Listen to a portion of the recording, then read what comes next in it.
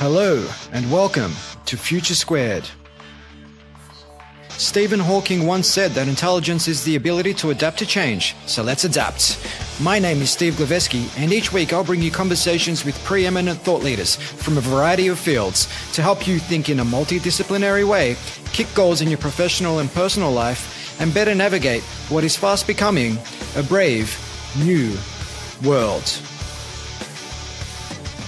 Future Squared is brought to you by Collective Campus, an innovation accelerator that works with organizations to unlock their people's latent potential to create more impact for humanity and lead more fulfilling lives. If you need help driving your organization's innovation strategy, visit collectivecampus.io. And without further ado, Come with me if you want to live. In other words, my why in flying is not me. It's not stroking my ego. I am a servant to the passengers to keep them safe. And so, if there's no ego, then any effort that any team mayor makes to improve the quality improves the safety of the passengers. welcome back to Future Squared for episode number 281 with Richard de Crespigny. Melbourne born and educated, Richard got his first taste of a future flying career as a 14 year old when his father took him on a tour of the Royal Australian Air Force Academy at Point Cook in Victoria. In 1975, at the age of 17, he joined the Royal Australian Air Force. One year later, he started flying. During his 11 years flying transport jet and helicopter aircraft with the RAAF, he was seconded as aide de camp to two Australian Governor Generals. Richard then remained with the RAAF until 1986 when he joined Qantas, flying Boeing 747, Airbus A330, and A380 jet aircrafts. In 2010, he was the captain on board Qantas Flight QF32 when it suffered a catastrophic explosion. His multi award winning and best selling book, QF32, is a blow by blow story of what went right when things went wrong in the air. Richard still flies the Airbus A380, delivers presentations on the elements of resilience to governments, agencies, and Fortune 500 companies. In 2016, Richard was made a member of the Order of Australia for his significant service to the aviation industry, both nationally and internationally, particularly to flight safety and to the community. This was a deeply insightful two hour long deep dive conversation with Richard on a number of topics that pertain to not only surviving a crisis situation in the air, which, fortunately, few of us will have to do, but how to apply the elements of resilience to better navigate crisis in our own lives, embrace adversity, and thrive, whether in a business setting or even when it comes to our own interpersonal relationships. As you'll discover, De Crespigny thinks critically about a wide range of disciplines that each serve to aid his understanding of the world and his decision making, characteristics that were key to the safe landing of the aircraft. Amongst the plethora of topics we discussed, expect to learn 1. Why you need to first understand your mind if you want to master it. 2. What the eight elements of resilience are and how to use them to your advantage. And 3. How to understand risk and make better decisions, particularly in crisis situations when our threat detecting amygdala is often prone to hijacking the more rational part of our brain and wire us to react instead of respond. Expect to learn this and a whole bunch more in my far reaching conversation with the one and only Richard de Crespigny.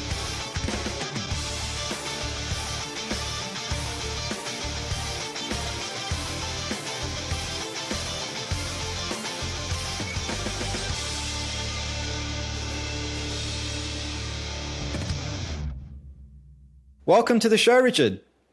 Thanks, Steve. Great to be on it. No, it's an absolute pleasure to have you on the show. And um, you're no doubt, I imagine, quite busy at the moment, seeing as your new book, Fly Life Lessons from the Cockpit of QF32, just came out. So, congratulations. Thank you. It's a six week uh, PR tour and it's a blur. It's a blur of interviews, but I do enjoy it. And I'm really going to, going to enjoy your talk because our interests, the, the whys of, of, of how we do things and, and what comes out, we are totally aligned. So mm. I'm going to really enjoy this, this interview. Oh, I, I imagine I'm probably going to enjoy it more than you. So let's see who can enjoy the conversation more. um, so obviously a six week book tour. Um, I imagine it's mostly a virtual book tour, a lot of podcasts, or are you doing anything in person? Any sort of? Uh... I'm doing lots of tours to bookshops. I'm doing lots of uh, TV programs. Mm-hmm. Um, it, it, it's really going across the all the communications channels. And actually, this is the first Skype one, but uh, all the communication channels. And then I hope to tour um, America and start all over again. Yeah, and we were just having a conversation before we went live about exponential technology and the impact it's having on people's lives that people often take for granted because we usually base our worldview on the last 20, 30, say 40 years. Um, but you look at this conversation, for example, we're having this conversation through Skype with relatively cheap infrastructure. Um, well, in terms of our microphones and our headsets and whatnot, but anybody anywhere in the world with an internet connection will be able to listen to us have this conversation. Whereas you think back 15 years or so, it just wouldn't, wouldn't have been, um, well, such technology wasn't democratized. To do the same thing, you need to spend a hell of a lot of money and work with a studio just to get the stories out. Whereas now we can get the stories out to people in every corner of the globe, which I think is an awesome time to be alive.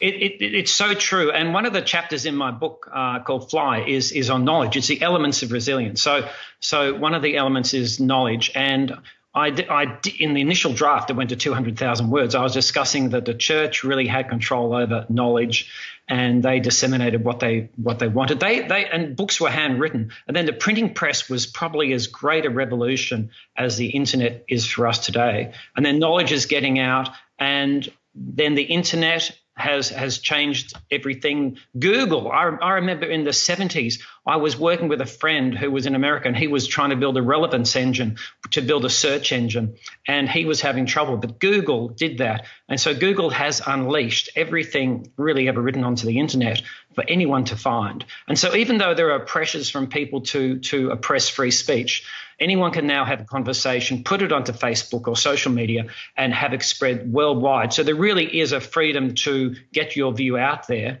and people do. And so the increase in knowledge, the exponential growth of knowledge upon knowledge that is retained in hard disks, um, it's it's a world that is growing exponentially and it will continue so. So it's going to be, you know, I think this is the best time to be alive, the best opportunities. There's a great quote that when the winds of ill blow, some people build walls, other people build windmills, and I'm building windmills for all the disruptors that are ahead of us, which is energy, storage, sentience and silicon, mm. automation, genes, graphene, which is extra materials, um, 3D printing, and currencies. So that the disruptions, sorry, and robots, robots that that we'll end up probably sleeping with. They'll be they'll be friends. Thirty percent of people sleep with their pets, mm-hmm. and but the elderly are very lonely, and so there'll be the first use for sentient robots, I think, will be to provide companionship to the elderly so they don't get lonely. Because in their personal resilience, having a relationship with someone, talking to someone, keeping their friends is vitally important. And um, so all these things are opportunities, and it's going to be a wonderful future. And this is the best time to be alive. So you've obviously got quite a passion for technology, but not just for technology, but more so what it can do for humanity, uh, Rich. And where, where did this come from? I mean, when did you first start getting enamored by technology and what it can do for people? I think the first, the person who really got me going is when I was probably six or eight years old. It was Julius Sumner Miller. Now, do you remember him? Were you too young? I, I think I may have been too young. I, I, do read about a lot of people who are alive two millennia before I was born, but I have not come across him. So please enlighten me. I think Julius was a Canadian, a mad sort of he'd scratched all his hair off his head. He was half bald, um, a slightly aggressive professor who was in, in Australia. And he did programs on TV called Why Is It So? Mm-hmm. And he would get students up on the stage and he would berate them if they didn't know something. But he would give the lessons and really good practical demonstrations of physics and why things happen. And it was fantastic. He wrote a book called Millergrams and so which was only 100 pages with about 50 questions and in the in the 70s i wrote a book called uh, physics for the coffee table which was another f- to carry on for millergrams and uh, I haven't published it yet. I, that's that's a fourth book I have to do. But the um, so he, he Sumner Miller got me interested in physics, and then the motorbikes and everything else. I, have always been interested. I was interested in the Meccano, so uh, the sort of engineering was there, and it just kept going. But I'm in the more IT side of engineering than the nuts and bolts. And with respect to flight, uh, did you take any inspiration from stories of, of, of guys like Charles Lindbergh um, and and the Orteig Prize, or was this something that you kind of came across once you had already joined the Air Force? Because you joined the Air Force when you were just seventeen. Yeah, uh, the the Air Force. Um, went on a bivouac. This is before I joined it, and they got lost and they ended up on my father's property and damaged it. So, as compensation, my father said, You must take my son on a tour of the Air Force. So, we went to the academy at Point Cook, and there was um, supersonic wind tunnels, there was um, space observatories, there was flow tanks. There was all this highest tech stuff, and they were doing research there as well. So all this highest tech stuff I'd ever seen. And I'd been riding motorbikes, and I could fix them and maintain them and mm-hmm. ride them. But the Air Force uh, gave was really like motorbikes, but with an extra dimension and, and ten times the speed. So the Air Force then got my interest. It got my passion going. And so I joined the Air Force and I was after everything that was high, highest tech and fast. So I, I always wanted to go to the F 111, uh, which was the fastest aircraft and most highest tech. Mm-hmm. And I did for 20 minutes, but that's another story. And um, but and then I joined Qantas, and I wanted to go to the biggest and the best technology, and that's I've worked my way up through jumbos, and now I'm on the A380. So uh, yes, I've always been chasing the biggest and the best. It's just and, and it comes with a risk that I've always been the first to get onto the newest aircraft. And many pilots, perhaps 80% of pilots, re- don't want to get on the latest aircraft. They're they're a bit nervous that it's something that hasn't been properly resolved because aircraft always have changes when they come out. Maybe there'll be an incident. The majority, and also pay hasn't been resolved. So the majority of pilots avoid new machinery, and I actively go for it. And so I have I have jumped hundreds, hundreds of, of, levels in seniority because I've been prepared to take the risk. With the risk comes a chance that things go wrong and you make a mistake and your life changes for the worst. But there's also an opportunity um, that things might go well. And, and QF32 was probably an example where things went wrong. It wasn't, it was Rolls Royce's fault, but it was an accident. I, I'm not angry at Rolls Royce.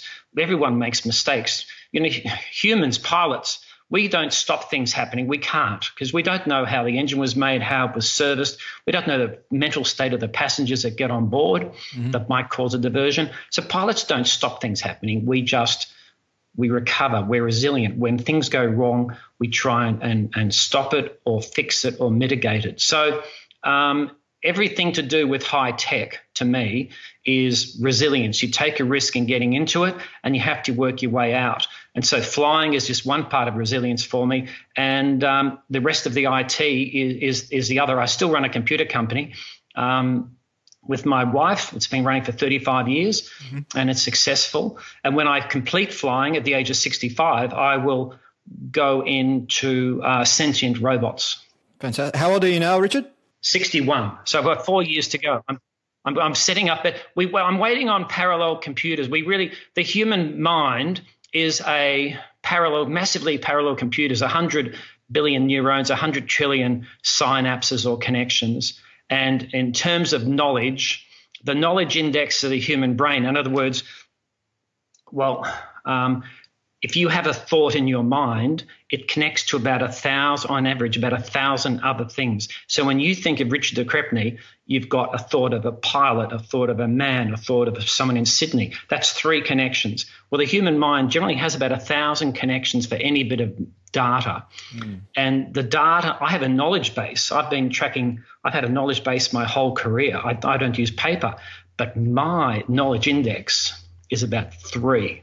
So the brain's a thousand, I'm three. So until we, and for most people, their knowledge index is almost zero because they don't correlate stuff. So, or they keep it on paper. So, um, th- th- there's a long way way to go, and um, um, but that's that's that's why we're not ready for sentient robots yet because we haven't got the parallel processing. But once we do, things will happen very quickly, mm. and it will be a, a fantastic and brave new world. Yeah, I know Elon Musk mentioned something on the recent interview that set the internet ablaze, literally and figuratively, the um, interview with Joe Rogan, where he started talking about Neuralink, which is their um, human machine brain interface. Um, and he believes that they'll have something to uh, announce in the next few months, which will be an order of magnitude better than anything else that exists in this space. And, and when you say that, you know, the human brain has 100 billion synapses and connections, you can imagine the the gravity or the level of difficulty associated with something like that. In fact, some people are saying getting a human brain interface to work effectively is harder than, say, sending rockets to Mars um, in some cases, and maybe Musk's most um, ambitious. Um, oh, I, I, think it's 100 billion neurons and 100 trillion synapses. 100 trillion uh, synapses. About it's about that, you know, yeah. plus or minus 15 percent. Yeah. But the um, I think it's much harder to to tap into the brain from outside than it would be to go to Mars. And and also the brain is plastic, so people think that the, the conventional view is that one part of the brain does one thing, but no. If you some people are born without a cerebellum, but they can still walk, mm-hmm. and people have are born. Some people have had the hippocampus taken out, but they can still function. So the brain, brain is plastic, and you can't just say, well, I'm going to target this one area and expect to get something useful out. Maybe on, on an average person. But, um, and also your brain, every person's brain is different. As you get married, one, one of the most wonderful things is the longer you're married, the more your brain uh, with your wife synchronizes and you start to build up the same neural network. And so one one sense will trigger the same response. It even goes so far as in muscles on the app, we have 650 skeletal muscles, and one thought will trigger those muscles to take up a, a posture, which we call body language. But um, your dog ends up having the same body language as, as, as its owner. Mm. And so um, everything is unique. And I, am very dubious that someone says that they can understand what we're the, the thought. I can understand that there's an activity in the visual cortex or the hippocampus, but ex- then explaining what we're thinking is um, a lot more of an interactive challenge. Yeah, and just to circle back to something uh, you said earlier, Rich, around you've been the type of pilot who has always embraced you know, the new, always gone for the biggest and the best, even though it represents uh, potential failure, potential risks. It's uncharted territory. But as human beings, you know, we're wired to shy away from ambiguity, from uh, novelty, because we're not sure what we're going to get. We're afraid of that risk, and ov- obviously, we're wired to that because of um, biological evolution. And when we were running around the African savannah tens of thousands of years ago, that made sense. But in today's environment, particularly for say managers and leaders out there in, in, in, in the business world, technology on the outside of these organizations is moving much faster than these organizations themselves. So in order for them to survive and thrive, they need to get better at um, adopting uh, the unfamiliar and getting better at navigating ambiguity. So in your particular circumstance, You've always embraced it. So, where do you think that comes from? Okay, first of all, um, there have been lots of discussions about linking IQ to success. And I think, in probably, if, if it's an intelligence based thing you're doing in management, IQ probably has a great correlation to success. But if you look at people like Microsoft, Amazon, um, SpaceX with Elon Musk, all these people that they don't have the highest IQs at all. Um, in, in, fact, in the Air Force, the dux of the Air Force Academy was a poison chalice because they generally killed themselves. And the dux of my year killed him. He was the first to die in an accident. So sometimes to have these local successes builds up um, too much ego, and they they get complacent. But for the people who are truly successful in in the highest these high risk ventures, um, which I'm talking Microsoft and Google. These are all young people. Most of the Nobel Prize winners were in their 20s.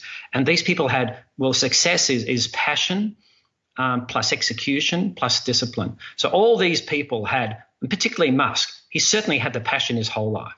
And his passion for leading edge high tech is probably similar to mine, but he executes it much better than I ever would.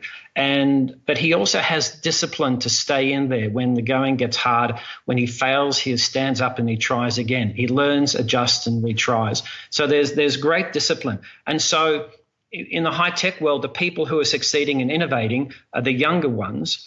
And um, generally speaking, in terms of success and as we go forward, Charles Darwin, in talking about evolution, he didn't say that the fittest survive. He says that those who adapt survive. So we must, we will adapt or we will perish. Equilibrium is a precursor to death. If you don't change, you're dying. If, if DNA doesn't change, the species species perishes. But with change comes risk risk that you have to embark on something else. In IT, it means you're standing on the, or you're surfing the edge of chaos. You, you're an innovators and early adopters. And with that comes the risk that if you will often fail, but when you win when you succeed, the rewards can be great and you, you have great success. Um, so again, when we fail, the, the, successful people are unafraid of failure. They see failure as stepping stones to success, and that's what Richard Branson um, talks about really well. And Elon Musk. Mm-hmm. All successful business people will say they've failed on their way to success. If you've never failed in anything, you've never made a decision. So it's important that we learn to fail well, which means we accept the failure, we pick up, we learn, adjust, and we retry. And my son was having trouble at university and at, a, in engineering, and he said, "I failed maths and I'm going to give up engineering." I said, "No, you know, it's not." The important thing about failure is not that you didn't pass, it's how you respond to failure. Because you're going to fail many times in your life. Mm-hmm. So pick yourself up and go and do it again. There's no damage done.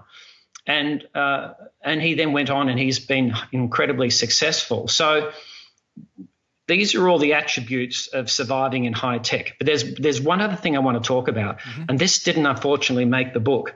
Uh, if I if you just took I took the ratios of neurons and synapses and and modified in volume in the brain, and I took these different equations and uh, of the ratios and differences, and I discovered that when you're young, because the, the neurons grow quickly, more quickly than the synapse connections. So young people have all this data, but they have no context to put it in. They haven't got the synapses to link it together. They've got all the information. They think they know everything, but they have no wisdom to put into context. Mm. So they're frustrated. They're they're uh, reckless. But guess what? They're also creative, and this is why the young people who have all this facts but no way to correlate it.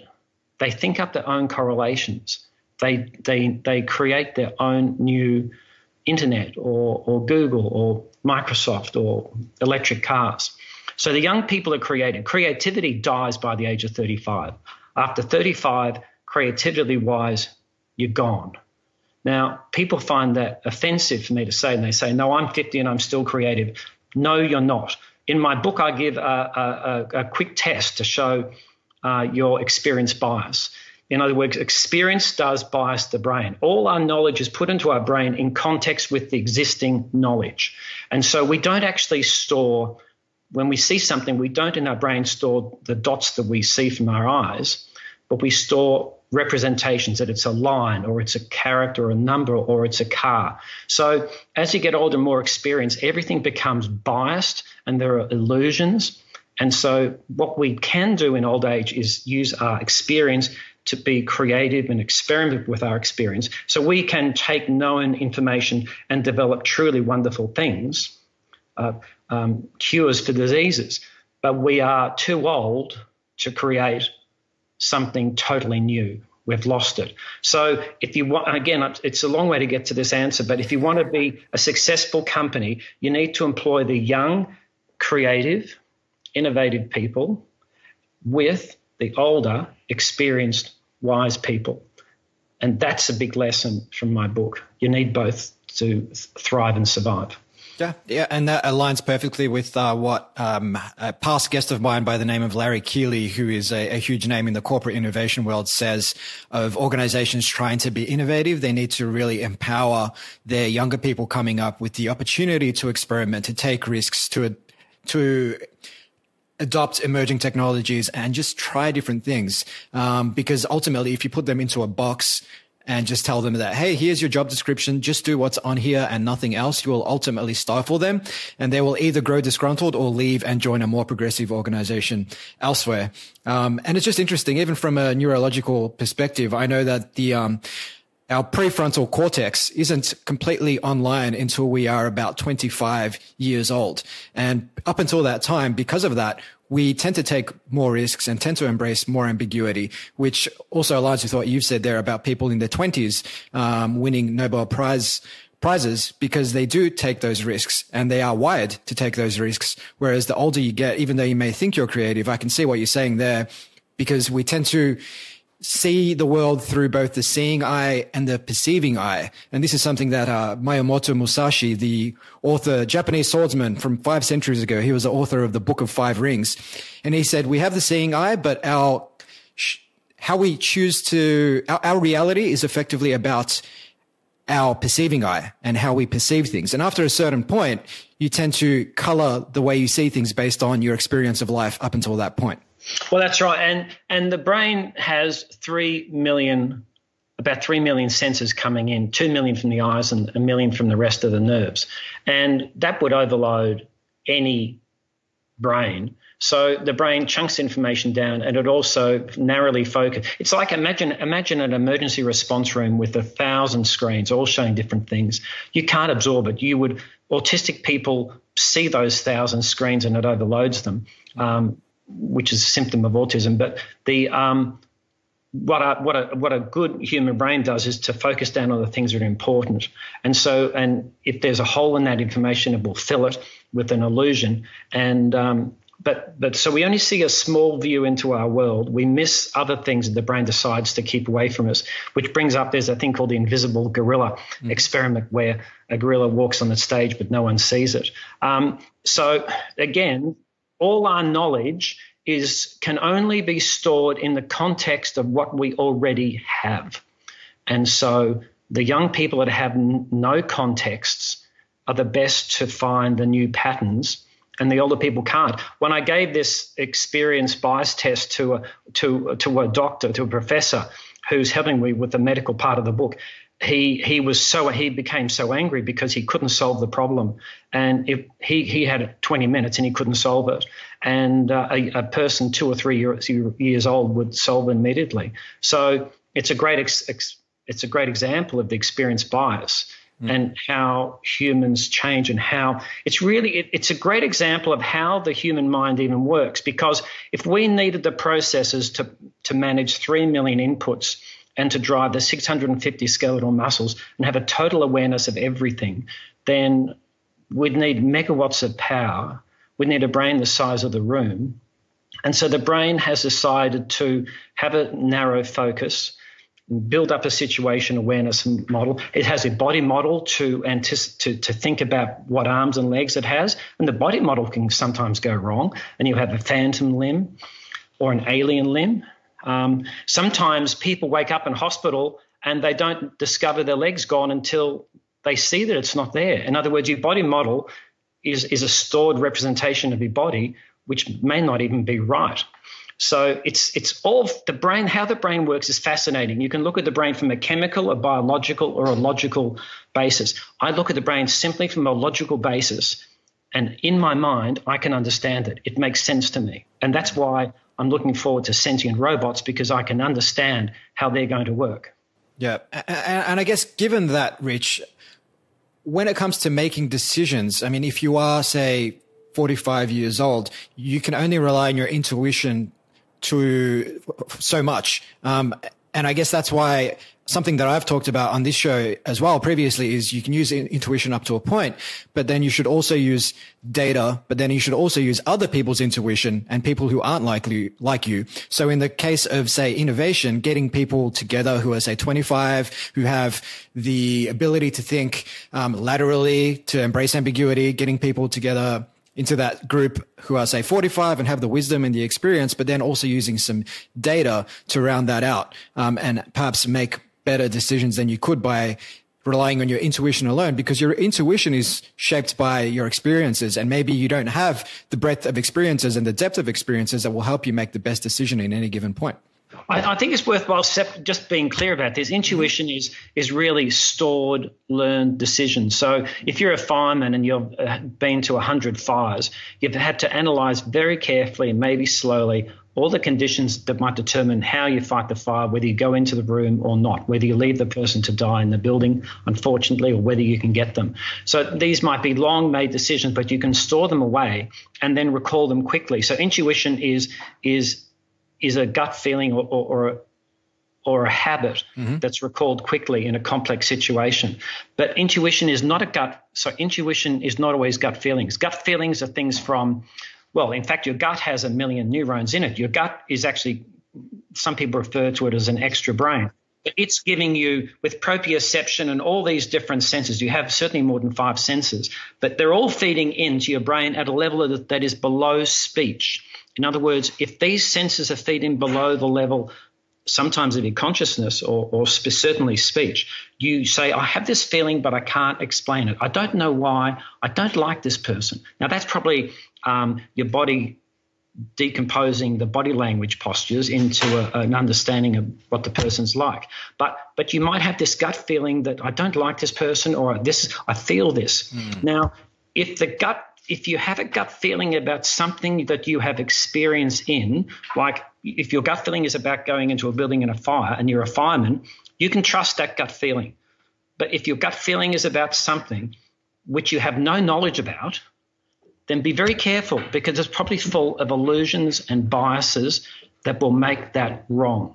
And and and the good example is is most people think the world's getting dang- a dangerous place, but the reality is quite different. It's Steven Pinker in his book Enlightenment Now, mm-hmm. and um, Hans Rose, Rosling in his book called Factfulness. Yep show that all the data about humanity is actually getting better and it's different to what we think. So people's gut feelings, and, and Hans brings us out at the start of his book, Factfulness, with 15 questions. And most people don't get more than five right. The more intelligent you are, generally the less questions you get right. Because we have we have this gut feeling that the world is like this, but it's the total opposite. And so again, in, intuition or intuition is, is great. That's learned learned decisions But gut feelings, you only follow your gut feelings if it's in your area of competence. Yeah, and I've read both of those books, and um, I think one of the questions pertains to what percentage of people in what percentage of children in Africa do you think are vaccinated? I think was one of the questions, and most people thought that it was maybe something like twenty percent, when in fact I believe it was up above the ninety percent. It was 80 percent of children at one years of age has had at least one vaccination. Yeah, everyone should read that book because this is in support of my windmills theory. The world has never been better. If you ever cho- most, if you ever had to choose when to be alive, you'd want to be born today. Mm-hmm. And, and and this, I suppose, you know, we've been talking about the fact that today access to information, access to knowledge is abundant. At the same time, the brain can only process so much of this information and there's a hell of a lot of noise out there. And so I guess a big part of the reason why people think that the world or, or people may have a very, a very, negative sort of view of where the world is going. And you hear people mutter, uh, you know, absolutes like, Oh, the world's terrible. We're all going to hell. This is, we're living in the worst time ever. And obviously they've not really done the research, but a lot of that is colored by the news and, and the news tends to report negative information. In fact, something like eight news stories to one tend to be negative, um, versus positive. And people tend to then color their view of the world based on that, have a negative outlook, a negative predisposition towards things, and then their behavior is subsequently affected by that. So how important is it for people to be more deliberate around what kind of content and information they actually consume, Rich? Well, that, that, that's a big topic. First of all, now I'm going out on a limb here because I don't know that anyone necessarily feels the same way I do. My brain is full. My 100 billion neurons are 100% occupied. And I I would like to learn other languages. I like to learn the piano, mm-hmm. but I know that if I do, I'm going to replace neurons or data in one neuron with something else. The neurons have a neural growth factor. It's it's it's a chemical that determines how many connections there can be to a neuron, how many synapse connections there can be. You've only got so much. So when you when you start to connect the neuron to other things, you lose a connection somewhere else. You can only attain new knowledge at the expense of old knowledge. Now, that's not so bad because we should get rid of legacy data mm-hmm. and, and make have constructive destruction. We should get rid of the old information to make way for the new. Um, so I, I think in terms of knowledge management, um, and and this is corporate systems as well, we have to be prepared to, to drop old knowledge and actively seek out the new. Um, so that was the first thing I wanted to say. But the second thing was in relation to news. And it was many, it was decades ago. There was a concept of fear, doubt, and uncertainty, and, and that was Microsoft because it would all it would release Windows 3, and then uh, very shortly afterwards say okay, Windows 4 is now, you know, be a year away, and it would create fear, doubt, and uncertainty to keep people on their toes and make them want to get ready for the next next version and want them to go into it. Mm. And they had many software companies have a one year up up um, uh, renewal policy or updates just because people expect that they need the latest change.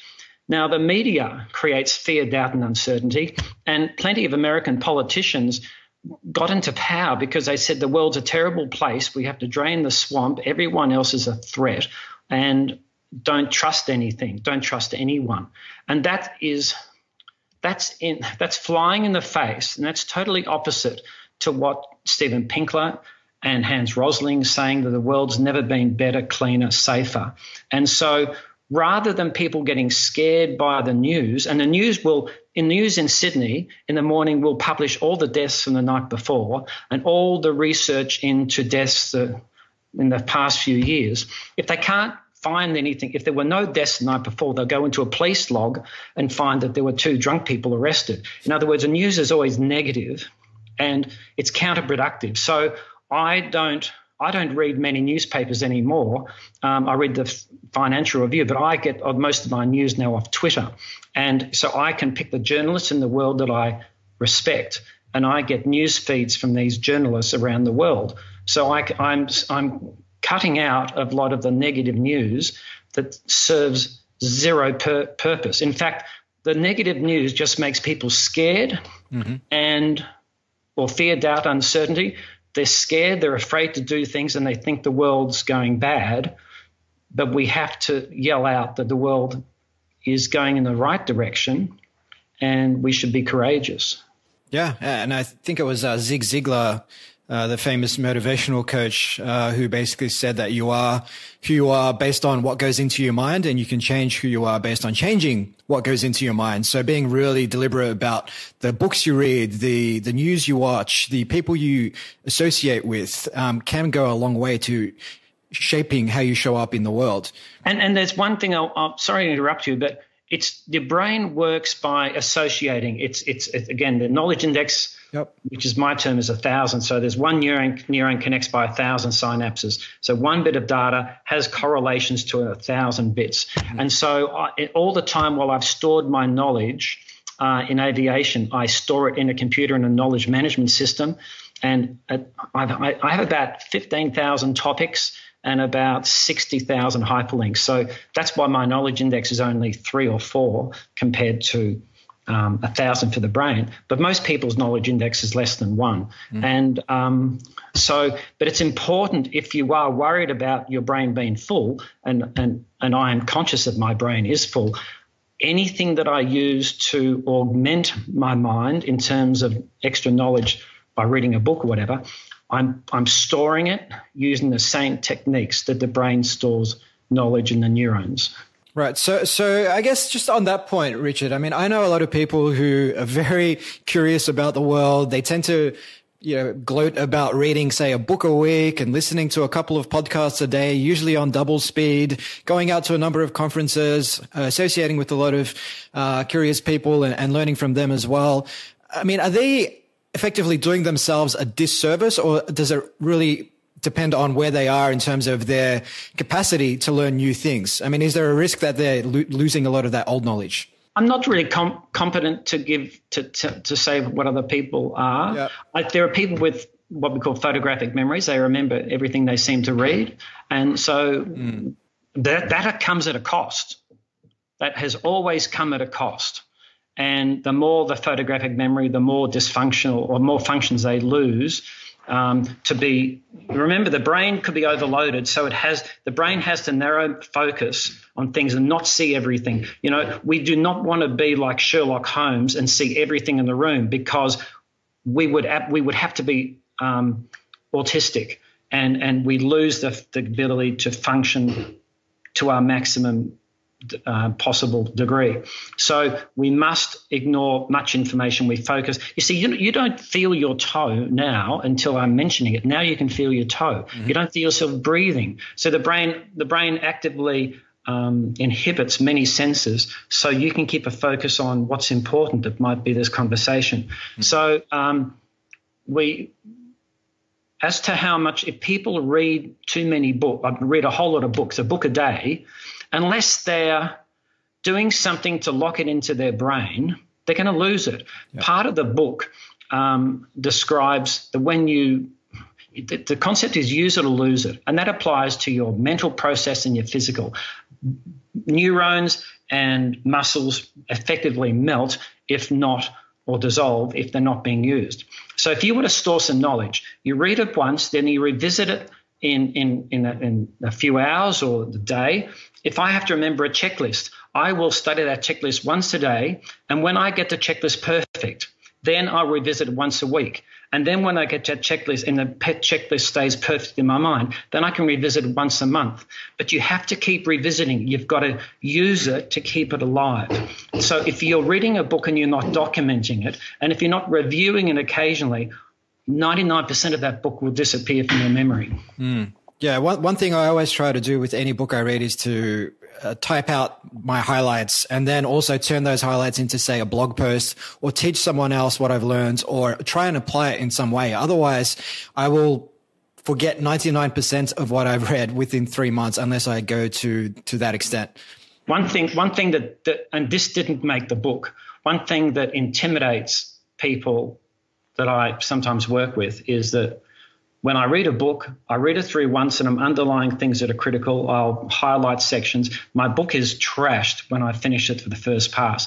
Then I go back and I go through everything that's underlined and I integrate it into my knowledge management system and hyperlink it to other sections. And so when I've done that, my book then becomes part of my extended brain, which is my knowledge management system on the computer. So I have cross indexed aviation. Everything I've done in aviation I've stored on the computer and it's massively cross referenced. So you know, things can link in all directions, but it means that I can find, if I can't think of it in my brain, I can cross reference it uh, in something which is working similar in my brain. And I need to, I need to be uh, clear here. This is not like doing Google. This is not like having a Microsoft Word document and doing a search. Your knowledge management system in a computer must mimic the same structure of the knowledge that's in your brain. It's personal and it's different for each person. But my knowledge management system mimics the way I'm, my brain works. And so I can find information very fast. I can find the information with the source or reference immediately. Mm-hmm. And that intimidates some people. Yeah, and I, I, can see that coming across in this conversation as well, in the way you're um, effortlessly recalling quotes and and and facts and statistics um, quite seamlessly. Um, I think it's definitely worth something that uh, our audience should ex- explore further and something I'll, I'll, definitely look into. But, but there is a cost. I don't read fiction. I don't have time. And it's not that I don't like fiction. It's just that I don't have the time. And, and honestly, I, while I'm a professional, I have to reserve my precious 100 billion neurons mm for my industry. Yep, makes sense. Makes sense. And before we get into QF32, I mean, we've obviously gone off on quite a few tangents already. Forty-three minutes into this conversation. Having said that, I am enjoying uh, the nature of the conversation. Um, earlier, we were talking about uh, negativity and I think one comment you made was that it serves no purpose, but in fact, I think it serves a, a, a, a uh, detrimental purpose. For example, if we look at uh, terrorism and the media's inclination to to report on terrorism, um, if you look at the total number of deaths globally because of terrorism, it's something like twenty five thousand, and about ninety eight plus percent of that is in the Middle East. Um, if you look at incidents in the USA, it's something like 25 deaths a year. Uh, Europe is something like 50 to 100. Um, yet yeah. Um, but I guess when it comes to terrorism, the overreaction to terrorism based on the media and, and the public outrage that it um, creates poses a far greater threat to our security. It's kind of like the, um, the, the, the, story of the bull in the china shop. Um, if I'm a, if I'm a fly in a china shop, you know, I can't break anything. I can't even, uh, knock over a little mug. But if I get into a bull's ear and start buzzing and, you know, make the bull go crazy, then the whole China shop will be destroyed in, in a moment. So I feel like negative media uh, reporting, uh, negative sentiment can force public policy, which is ultimately detrimental and helps, um, say, terrorist groups achieve their outcome because on their own, they can't do it. It's our overreaction to certain things that poses that threat. So I guess it's just critical that people maintain a positive outlook and be really careful about where they're getting their news from it and make sure that it's not just some media outlet looking to get eyeballs and clicks so that they can sell ads. Well, I think the purpose of terrorism is to create terror in the mind of, of the recipient. And the terrorists achieve that very simply um, because they, have got the help of politicians and the media. Politicians mm. use terror to help them help the public think that this politicians is a solution mm-hmm. to these non-existent problems or the perceived problem, and and so these politicians who spread doom and gloom get voted in. Um, the media, people, media has tried in the past to report good things, but it's been found that people don't buy newspapers if it's only got good information. And and let's face it, most of the TV article, TV shows we see are about investigators or stories of people investigating other people's deaths. Mm. We seem to have this pathological um, secret passion for death. And, and I don't quite get it. I, I actually don't like all those detective stories.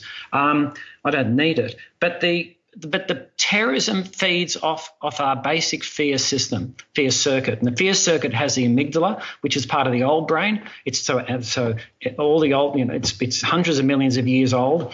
And so a rabbit or a horse, it has a good amygdala where it recognizes the, the characteristics of a threat. Mm-hmm. So a noise, a, a thunderclap, will make a dog, uh, make a horse, and a, and a, rabbit run away. And you really can't stop that because yep. they don't have a big enough cortex to regulate and inhibit that startle reflex quickly enough. We will still jump at the sound of, of, of, a, of a starting gun or something that's unexpected uh, because that's our amygdala firing up saying danger. But even though we jump and we might move a couple of centimeters, the, the amygdala works faster than the cortex.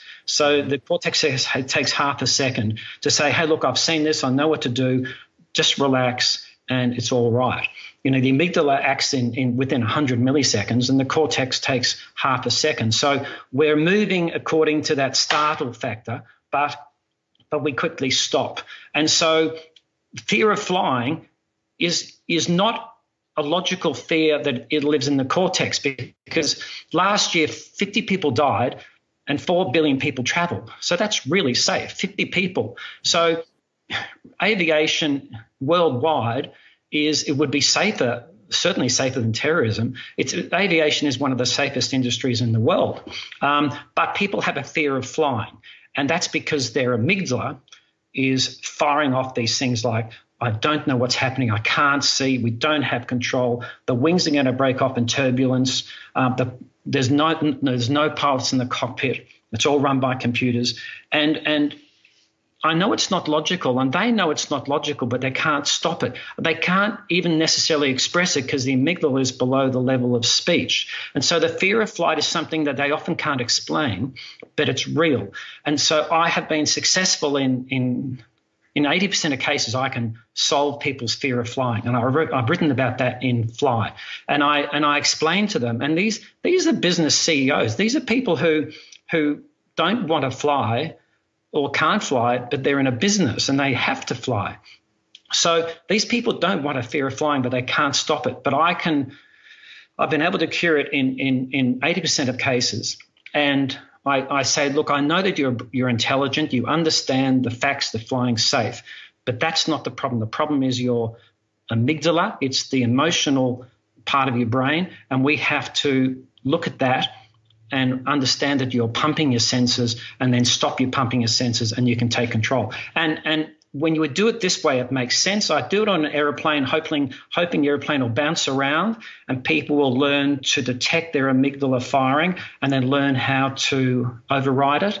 And um, and there's a spectacular success story that's in Fly of a of a woman called Irma Sullivan who had a fear of flying, and it was her last flight. And she told her family that she would not see them again because she was going back to England and she was too scared to go flying. And this last sector, we went into London about two years ago, and it was a St Jude's storm that was forecast, and the airline in the UAE, all the airlines in the UAE had stopped their flights to Europe because of this storm. And I was to take Irma to London, and Irma said, why are we flying if every other airline has grounded their flights to London? And oh, to the UK. And I said, we'll be okay. So it was a challenge at the start of the flight. I fixed, I cured her fear of flying, and she's been flying ever since. So again, all these fears, fears of terrorism, fears of anything, they're emotional, they're not logical, and we can cure them if we if we attack the right source, which is the emotional center. Mm-hmm. And just one last thing 9 11, in 9 11, about 3,000 people died, but it created a massive fear of flying by CEOs and movie stars. Now, CEOs and movie, Concorde was on its, its on its first flight after rebuilding the aircraft after crash in France. Concorde was across the Atlantic when 9/11 hit, and it landed, and everyone generated a fear of flying because of 9/11. No one jumped on the Concorde, so Concorde program failed because of fear of flight and 9/11.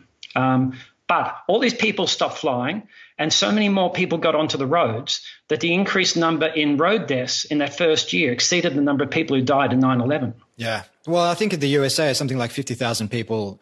Uh, there's about 50,000 fatalities a year on the roads. Um, and what, what, did you say about 50? It's about 30,000 on the roads. And, and, and I know that it's about 30, 35. And the reason I know that is because it's equal to the gun deaths. I think gun deaths might be more than road deaths now. Yeah, yeah, and uh, I mean, uh, the the amygdala is something that we've discussed on the show before, and obviously, it, you know, it, the, the amygdala becomes aware of negative uh, influences or threats several times faster than we become conscious of it. And it's something that Daniel Kahneman talks about in his book, uh, Thinking Fast and Slow on the notion of systems one and systems two thinking and systems one being, uh, your gut rea- well, your gut reaction to things. Um, so you must have sat in my book fairly comfortably because I, I mimic a lot of, uh, I use a lot of Kahneman's thoughts. Uh, yes, yes, definitely. And I think, people oftentimes are held hostage by that systems one thinking. And ultimately what I find is just taking some time and space to not make that gut reaction. And speaking of which, I mean, we're 51 minutes in and we haven't really touched all that much on fly yet. But back in 2010, for our listeners who may not be familiar with the story, um, while you were piloting a Qantas A380 above Batam Island in Indonesia, one of the engines exploded. And ultimately, a lot of the experienced crash investigators later revealed that recovery in such circumstances is almost impossible. But in this particular instance, you were able to, and you and the crew were able to keep your cool and land the plane successfully. So what do you think? I mean, how did you effectively make sure that you responded with reason in that space rather than react because it would be easy for a lot of people to um, to just operate uh, under certain conditions quite comfortably. But once they face adversity, once you've got this life or death situation, they can just throw out the playbook and just make gut reactions and jump to conclusions and make bad decisions. So I'm keen to unpack um, how you were able to respond in a very measured way. All right. Pilots are trained, perhaps like military, special forces, firemen, pilots are in the simulators four times a year. Mm-hmm. We get taken to hell and back for four hours. We practice things that are beyond our comfort zone. We come out sweating. We're challenged, and we learn heaps. We we sometimes have to repeat things because we don't we don't do well enough. But we come out and we keep our skill set not just up to one level, but we're continually advancing. It, it's we're doing deliberate practice and we're getting better with time. A lot of people, for instance, say um, in the medical industry, people will will be become surgeons and be be granted the right to operate by the College of Surgeons. But then there's really no auditing of the, of the, of the doctor and proving and making sure that they go into simulators that they that they that they must improve and, and they're actively recertified. In other words, if they don't pass that test, they cease to be able to um, practice. And I'm not zooming in on on doctors. There's almost no profession. Legal profession has has no requirement. Uh, see, for a board director, there's no requirement to be on a board to stay on a board. So, um, but pilots, are, we have seven checks a year where our license is either renewed or continued or it's taken away. So when I get in an aircraft and I look at my co pilot, I know he's gone through the checks that I've gone through. I know how hard they were for me, and I know that he deserves to sit there. So, competence is for the job is never an issue in an aircraft cockpit.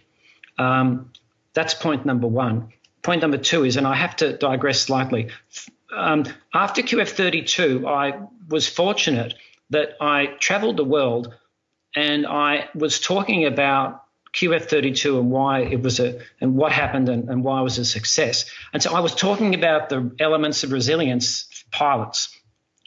But with each person, each group I talked to, which was doctors, mining industry, legal, governments, all you know, every profession you can imagine, I would do a SWOT analysis first. So that's strengths, weaknesses, opportunities, and threats. I analyze the audience I'm talking to, and then I render my QF32 information into their speak. And then I, because of that, I, I was discovered I was in a luxurious position of looking at the best practices of all these other industries as to what made them resilient, what they had, what they were missing. And so, I, in a way, it was a bit like Stephen Covey's Seven Habits of Successful People. I suddenly came about to discover the attributes of, or the elements of resilience personal and corporate resilience for all these people around the world. And that's given me now the platform to make a generic book about the elements of resilience that I'm calling Fly, which lets people personally and in a community and, and professionally in their companies not just survive the crises, but but fly, but but but excel. And there are eight elements of resilience: knowledge, training, experience, teamwork, leadership, crisis management, decision making, risk.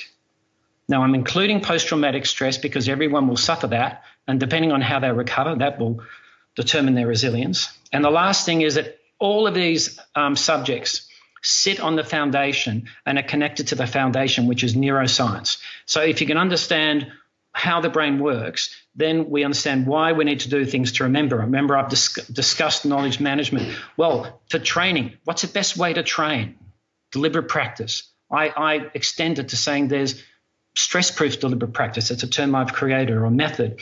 Um, experience. Experience can be a curse. Experience can absolutely be a curse for people who don't engage in a lifetime of continual learning and they, they don't have construct, constructive destruction of old legacy information. So we can go through all those things decision making and risk. And these make up the eight elements of resilience. Um, and when you do get all these things together, one of the personality attributes that you get is a thing called chronic unease. And chronic unease is it's a bit like doing a pre-mortem. You you work out before you do something, you get together and you say, look, the system failed. We, we, we failed. Why did we fail? And when you go to a meeting and saying we have failed, you then give everyone who has negative thoughts the opportunity, or you're giving them encouragement to speak up why it's failed. In other words, when you have negative, when you have chronic unease, you're you're getting all the bad things. Um, you're inviting everyone to say what is bad that you can counter and plan against before the thing happens um, because p- sometimes people are a bit afraid to say negative things. So chronic unease is vital for pilots because every takeoff is going to be aborted, every landing is going to be rejected. Um, every time we fly to a destination, the weather's going to turn bad or the winds. So we we have this great chronic unease. We're expecting the worst, hoping for the best. And we're absolutely expecting the unexpected. Now, that's the frame of mind. It's not. Um, I guess it's cynicism and skepticism. It's not para, it's sort of a paranoia, but we're not depressed or negative. The whole time we just have this situation awareness of what's happened, what is happening, and what's about to happen, and we're encompassing all the things that can affect us, that might hurt us, and we've built up a contingency in case it happens. So a pilot that says that he gets bored is not doing his job because he's not thinking of all the what ifs. A pilot in the middle of the Pacific is actually getting worried because he's starting to get a long way from airports in case things go wrong, in case an engine fails, a critical system fails, or a passenger gets sick. So pilots keep this chronic unease, and when things do go wrong, generally they're expect you know that they're prepared for it in advance. When you see a lightning bolt in a thunderstorm, you can expect a thunderclap. So the thunderclap doesn't scare you. And so, in the same way, when things happen, pilots are generally prepared for it.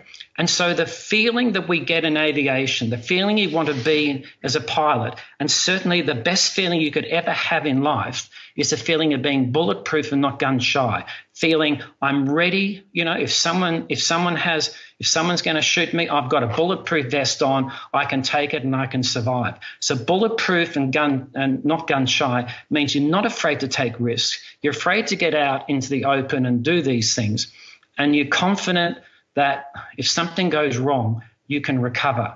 And that so I've mixed up all these different senses that pilots have, but ultimately pilots have this feeling of being bulletproof, not gun shy. Yep, fantastic. Um, so I think that you made quite a number of uh, really profound and important points there, particularly around experience, um, and saying that experience can be, in fact, a curse rather than a blessing, particularly if that experience is quite narrow. And, and I guess we see this show up in, in the corporate world now where you have someone who perhaps is a senior executive. They've been in that role for maybe 10, 15 years, and they got there based on a particular operating system that may have worked in the 20th century, but now with Moore's law reaching fever pitch, uh, it doesn't seem to work as well as it once did. So it can be a curse in those cases. And similarly, we see that a lot of general practitioners out there are being on the, well are on the receiving end of a lot of criticism because they haven't really kept learning um, over the last say 10 15 20 years even though technology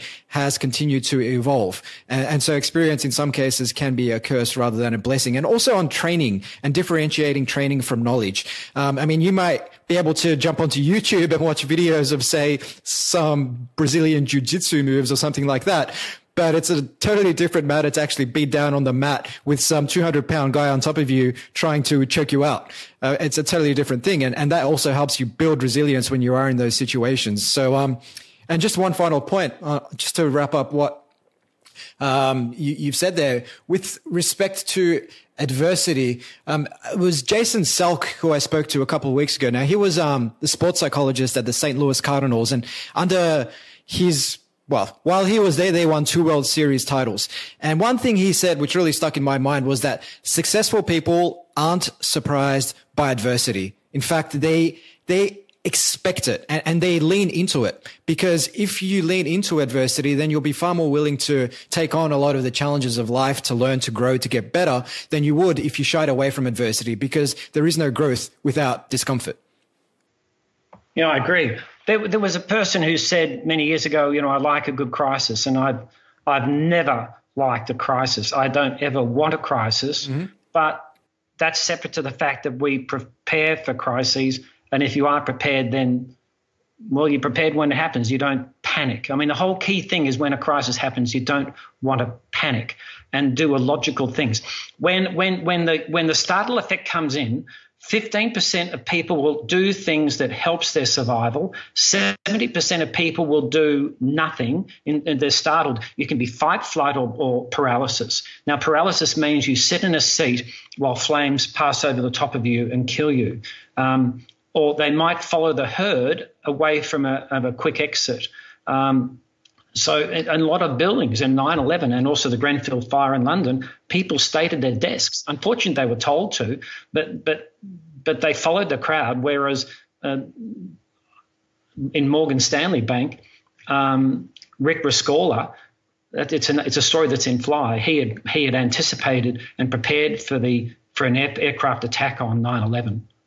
I mean, it, that is true what I just said. So he had practiced his team to evacuate, and so out of 3,000 Morgan Stanley people, only about five perished, um, and um, Rick Rescorla and his, and his team of, of, six security people, they died making sure everyone had got out. And in fact, Rick Rescorla had, it was a buddy team, so everyone, eh, two people were allocated a disabled person and, and they got them out. So all the dis- disabled people got out of the of 9/11 from Morgan Stanley. They were on the 40th floor.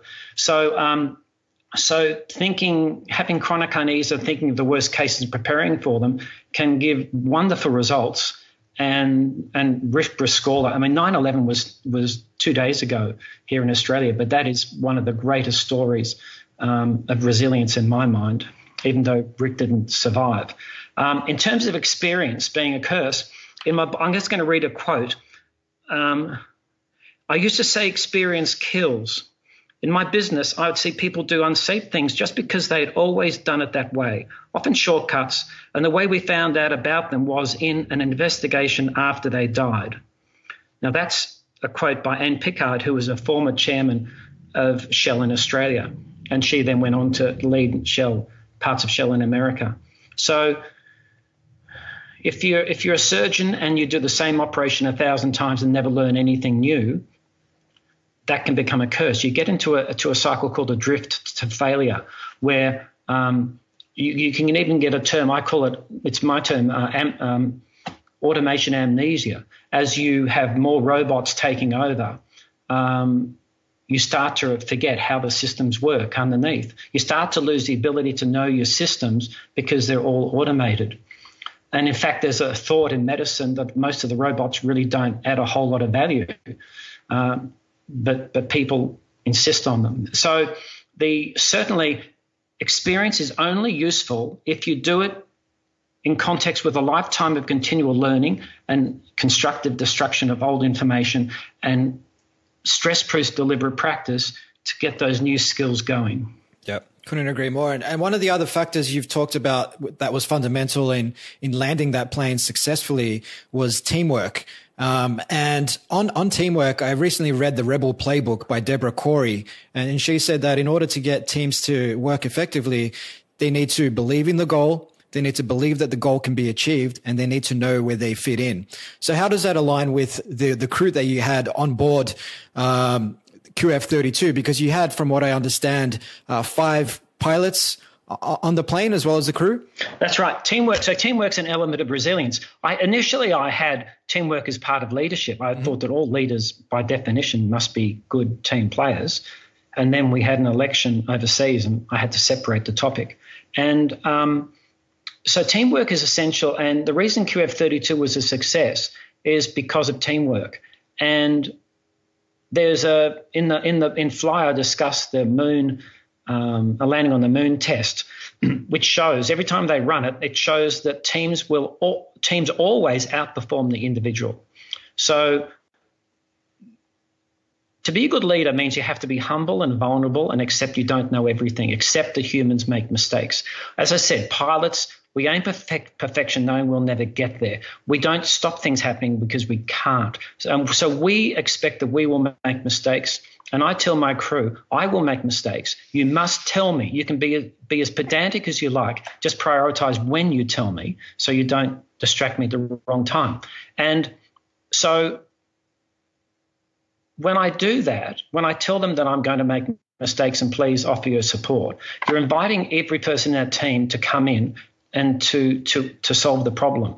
So, what is the problem? And this is really getting to your why. Um, a friend of mine, a doctor, asked a whole lot of surgical teams, who's the most critical team member in a surgery? And people said, oh, a surgeon or anaesthetist. And he said, no, it's the patient. And in a in, in the cockpit, who, you know, what is the why? What are we there for in a cockpit? My why in aviation is to get the passengers safely down on the ground to their destination. And that's everything I do is about that. In other words, my why in flying is not me, it's not stroking my ego. I am a servant to the passengers to keep them safe. And so if there's no ego, then any effort that any team mayor makes to improve the quality improves the safety of the passengers. So again, when the, when the team comes up and says, "Stop, Richard, I think you're making a mistake," even if I'm the leader, I take it as an as an effort to improve safety, and I welcome it. Now, I often tell the crew, "Stop, you know, we haven't done something, or you've made a mistake." But I, by the same token, I act, actively welcome them saying, "Stop" to me to improve safety. Mm-hmm. And so it's a two-way street. And and in QF32, the book I did discuss where I called stop and they called stop. And I was I wasn't insulted when the crew said stop to me, don't climb mm-hmm. during that QF32 event. I said thank you later on because they're obviously concerned. I hadn't explained what I wanted to do. They didn't understand it anyway. And they were right to question it. And so, thank you. So, when you get into teams, you understand that the individual will make a mistake, but the quality of the team is the ability of the team to find those mistakes and fix them. Humans can't be perfect, but teams can. Therefore, a, a win is always a team win, and a failure is always the leader's fault.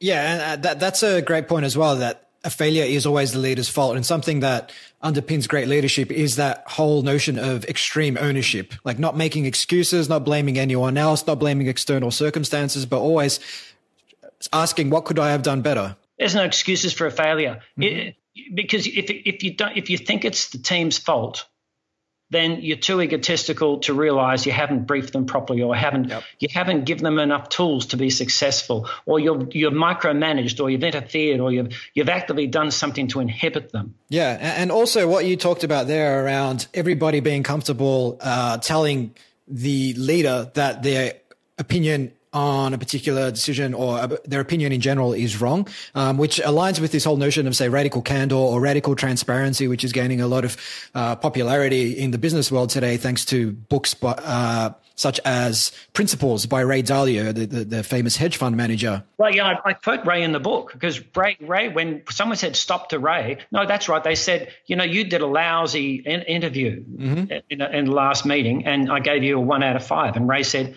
thank you you know, I need to do need to improve. Yeah, and, and that's something that people, I suppose, struggle with hearing uh, constructive criticism because rather than seeing it as an opportunity to get better, they see it as a personal attack. It's ego. It's always ego is the enemy of teamwork. You have to shed the ego, which means you have to know why you're there. If you're a politician, you're there for your constituents. If you're a pilot, you're there for the passenger safety. If you're a doctor, it's for the patient, and you'll do whatever you can for the patient. And, and if you are on part of a team, well, if you are on a team and a decision is made that you originally didn't agree with, how important is it that despite that, that you commit to that decision 100%?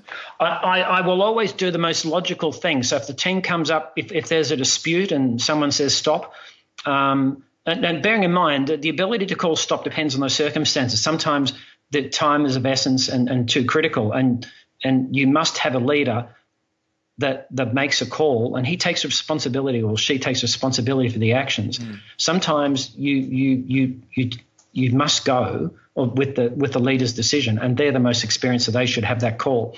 But when you do have the luxury of time to discuss stuff, it should be a, a fully analysed decision process to work out who was correct, and you should go with the right answer. And the leader must be have the modesty to say, "Do you know what? I learned something today. Thank you." Yeah, and, and on making that decision, I know you've um, talked about the whole notion of risk management or risk assessment in the book, where you've stressed communicating clearly, you know, double and triple checking calculations, and never, ever, ever jumping to conclusions. Correct. You never, never assume or presume. As I mentioned, we focus in, the brain focuses on only the things it wants to focus on. But if there's a gap, you know, when you look at your eye, you don't see a big hole in the middle of your vision, even though the fovea in your eye has no um, um, optic nerves. So there is a big hole in the middle of your vision, but your brain has these um, your eyeball oscillates and your brain fills it in. But if there is a gap in your vision, your brain will fill it in. And all the optical illusions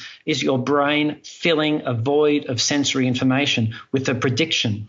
So um, now, what we I've, I've I'm slightly confused what we're talking about. What, we, what were we getting to? Um, so we were talking about uh, uh, risk management, um, communicating clearly, and not jumping to conclusions. In- oh, yeah, don't jump to conclusions. So understand that, that there are illusions. When there's a hole, your brain will fill it with illusions, and they may not be right. And people's perceptions will all, always vary from their from where they're, they're viewing the situation. So welcome all the inputs, and the truth will be somewhere in all the mix.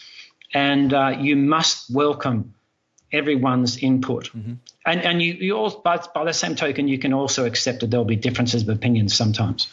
Definitely. Um, and so after all was said and done, and the plane was successfully uh, grounded over at uh, Changi Airport in Singapore, um, you took the time to address uh, the passengers. So I think there was 466 uh, passengers on board the A380, um, and you said something along the lines of, "When you fly Qantas, you're flying a premium airline, um, and you deserve the very best." Um, and you effectively gave the passengers your number. You said, write down this number. It's my personal number. I want you to call me if you think Qantas is not looking after you and if you don't think that they care.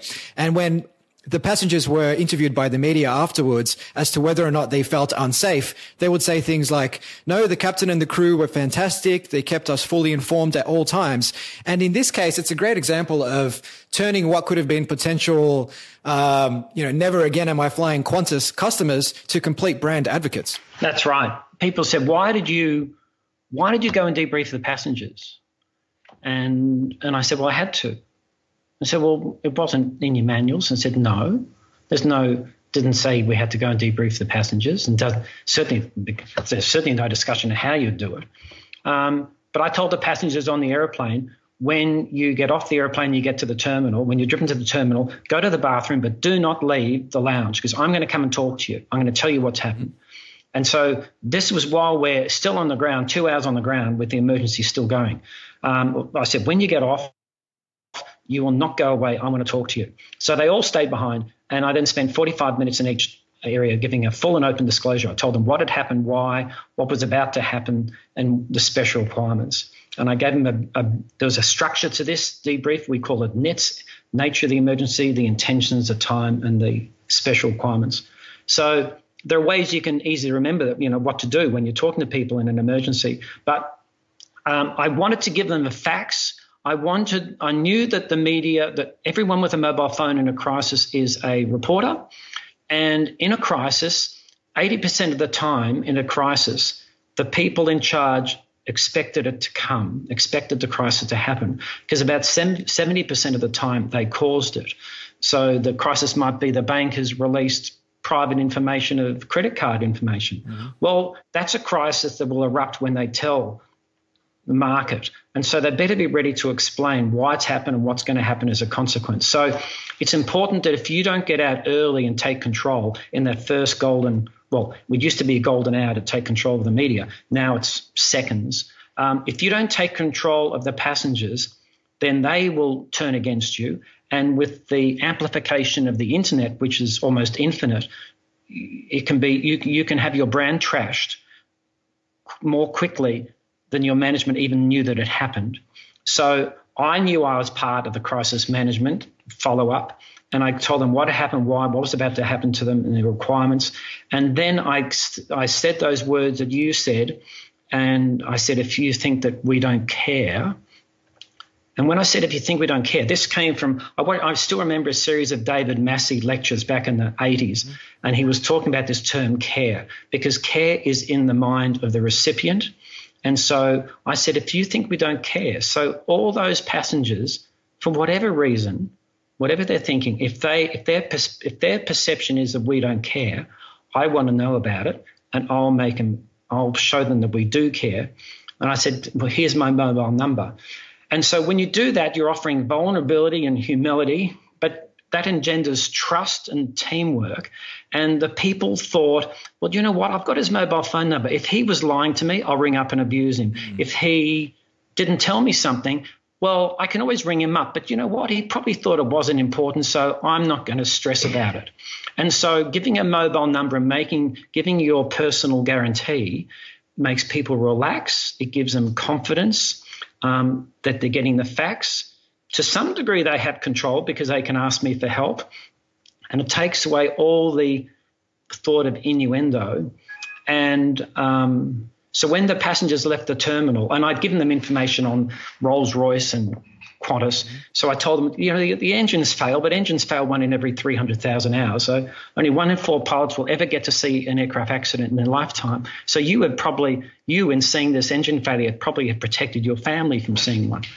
So I, I gave them all this information. When the passengers left the terminal, the media surrounded them, throwing um, microphones in their face. They want all the bad stories, don't we? We've talked about that. You know, Qantas is a bad airline, Rolls Royce is a lousy engine, manufacturer, the A380 is a hopeless aeroplane. And the passengers said, no, Qantas is a great airline. And the, the, the Rolls Royce, yes, it had an engine failure, but they don't happen very often. And the crew did everything, and everyone, they were all looking after us the whole worldwide after that incident, the media wasn't able to. I, I, still have not seen one picture of any of those passengers crying when they left the terminal. They were all happy. They were in control. This is the opposite to fear of flight, isn't it? We've inverted it. We've given them all the confidence and courage to fight, and, and their amygdala is not firing off. They were happy when they left the terminal, in control, and they took charge of the brand of my airline they protected the brand. And then the media discovered, you know what? We have no case for a negative report. We can't get one person to speak negatively of the airline. And the only story they therefore had was a positive story, and that's how they spun it. Yeah. So it, it did spin greatly. But my point is, the per, the full and open disclosure and the personal guarantee brought the passengers in as the eighth team into this event. So the passengers became part of the team. We looked after them. They looked after us. They protected the brand. And that that's such a such a fantastic story that you know, you've got 466 people, life or death situation, yet not one of them had anything negative to say.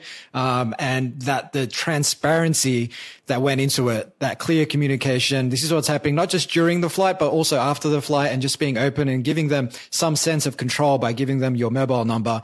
And the fact that no one said anything negative, I think is something that so many organizations around the world can learn from, especially in an age where if you have a negative experience, you're just going to jump onto Twitter, you're going to jump onto Instagram, onto Facebook, you're going to tell thousands and thousands of people and brands simply can't afford um, that type of negative uh, exposure. In, in, the book Fly, I talk about the um, United Breaks Guitars video that was on the internet.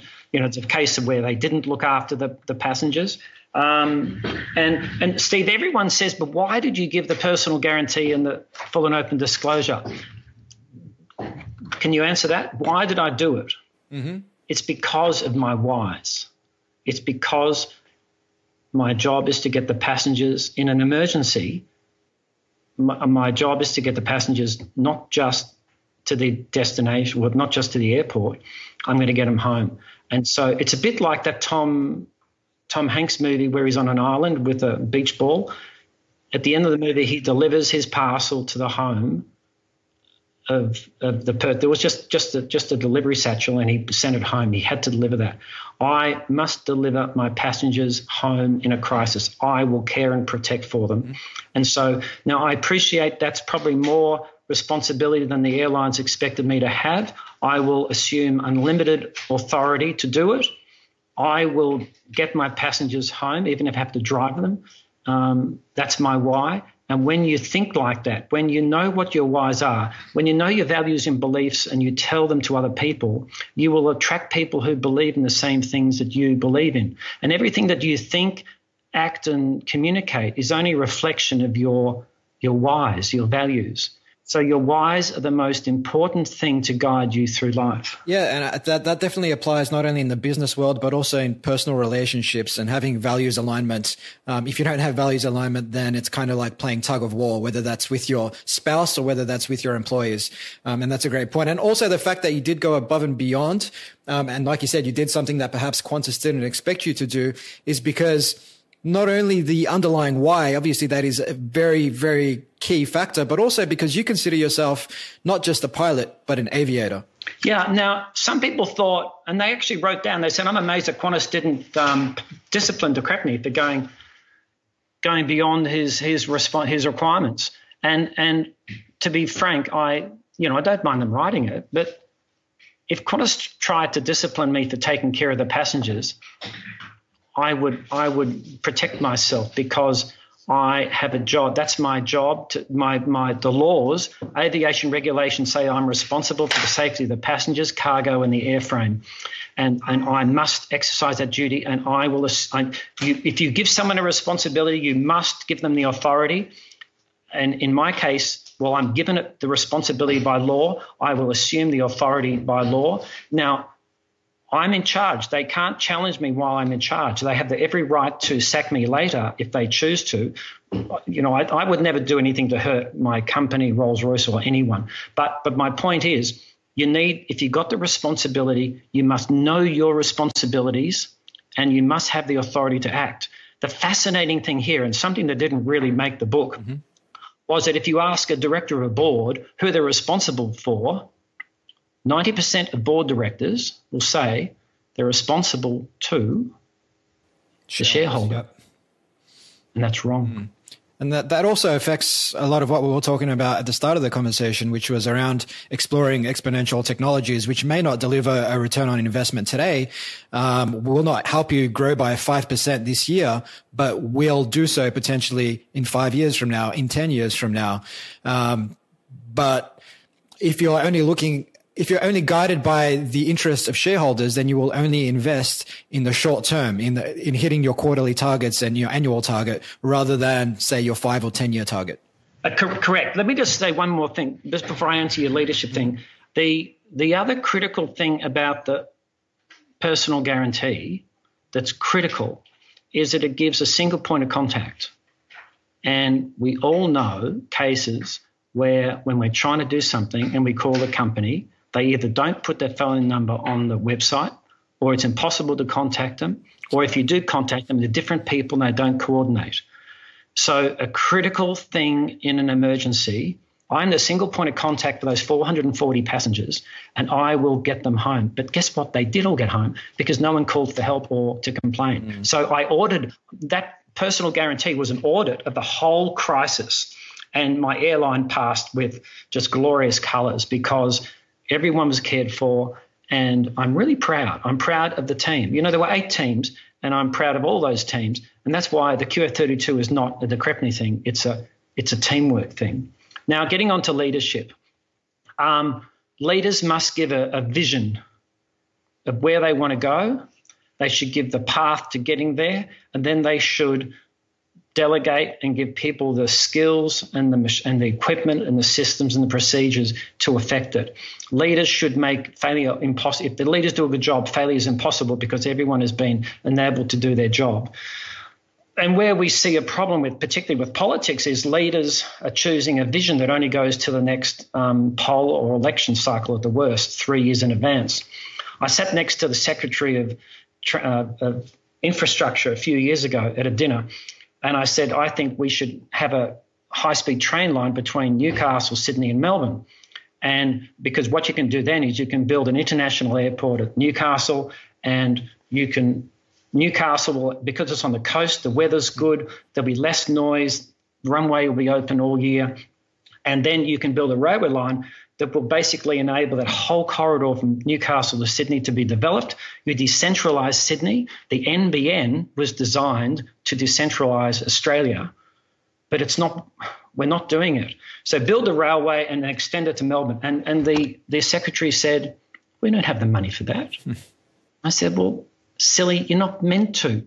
You're meant to give a vision. The vision can go out 30 years, 40 years. I don't care you just put the vision out that you're going to do it, mm-hmm. give people the understanding of where you're going and what your values are, and then we can allocate money as the years go by. But if you give no vision, if, as a leader, if you don't have a vision that goes well into the future, you're in the wrong job. Yeah, yeah, and uh, I, I think vision is so powerful. And I think it was about 10 or 15 years ago that Peter Diamandis uh, created the X Prize to, it was a $10 million prize for the first private space flight. Um, which just galvanized an entire industry, and off the back of that, we've seen the likes of SpaceX and Blue Origin. And what was that? What was that test in Nevada once a year, where they had autonomous vehicles racing around uh, 60 mile track? And every year, the, the improvements in autonomous vehicles was phenomenal every year, wasn't it? Did you follow that? I, was, I forget the name of the uh, tests, but I definitely recall. I think they got 100, you know, the biggest, the car got one kilometre out of 60 in the first year. Next year they got 25. And the third year, third year they blitzed it at 40 miles an hour or something. Yeah. Well, there's a similar thing going on now with uh, the Hyperloop, uh, which is incidentally also something that Elon Musk uh, had a ha- influenced the um, the evolution of it. And that's where they have these global university competitions to see who can build the fastest capsule. And it's just, I think you, you really need to start with the vision. But then, like you said, and Richard Branson talks about this as well, giving people the tools they need to succeed, um, empowering them with a worthwhile mission, which we've touched on, and in some cases, getting out of the way so that they can do the stuff and not be subject to some sort of patriarchal or command and control from, from above, because that never inspires people to do their best work. They also need what Dan, uh, was it Dan Pink in his book Drive says you also need to give them the opportunity for autonomy and mastery so that they can learn and also have that freedom to do things on their own and feel like they have control over what they're doing. I agree entirely with, with those the, the people you've described. Branson is is is a fantastic delegator and um, and a, and a great leader for that reason. And he's also excellent at crisis management because the CEO gets on the scene. And and Branson is is exemplar for many things in that area. Definitely, definitely. Look, I've got just one more question, and then we'll just jump into our lightning round to wrap it up, Richard. And and this was just around um, Air France flight four four seven, which which was which took place about a year before QF32 back in 2009. And unfortunately, on this case, the plane went down over equatorial waters, uh, somewhere between Africa and Brazil, um, killing all 20, 228 people on board and 12 crew. Now, in this case, a lot of the um, uh, rec- the flight recorders revealed that the pilots actually failed to uh, discuss repeated stall warnings. They hadn't received high, high, altitude training and ultimately didn't react in a swift enough manner, which I guess is complete. Is, is at odds with what you've talked about with respect to knowledge, with training, with having the teamwork, uh, making the decision, committing to it, and ultimately, in your case, having a successful outcome? It's automation amnesia. Mm. And it's the fact that aircraft are getting. I, I, did an interview yesterday where the, where the person who started the interview said, you know, aircraft fly themselves now, don't they? and that's the perception. And um, so I said, aircraft really have an automation that equates to a cruise control in your car. That's that's about all. Without human control, the aircraft's not going to. It's not going to start itself, taxi, take off, um, and, and it can only land itself it can only land itself from about a thousand feet above the ground down to the if you've got auto land that only works from a thousand feet. So it you know the automation is basic but automation amnesia means that when you have these automated systems now systems are getting black boxes.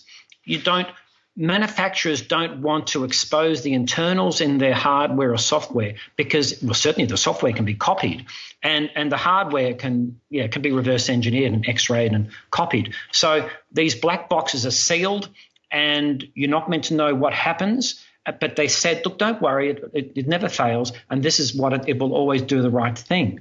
Um, but these complex things rely on sensors coming in and being able to move things on the outside. In QF32, we had we lost there are 250,000 sensors on the aircraft, sensors and parameters, and we'd lost 650 wires. We probably we lost a heap of sensors, and and we lost a lot of things that the computers could move.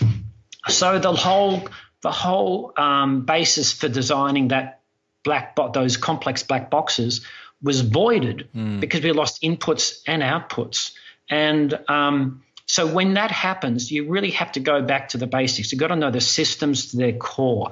You can't afford in an automated system to not understand the, the, how the system works.